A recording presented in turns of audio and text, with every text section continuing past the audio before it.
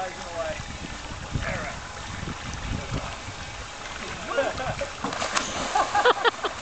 Did you see him when he falling inside?